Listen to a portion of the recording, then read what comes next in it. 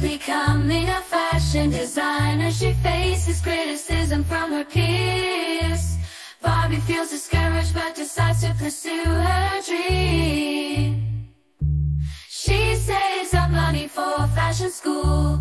Barbie applies to the top fashion school. In the city She gets accepted and moves to pursue her passion.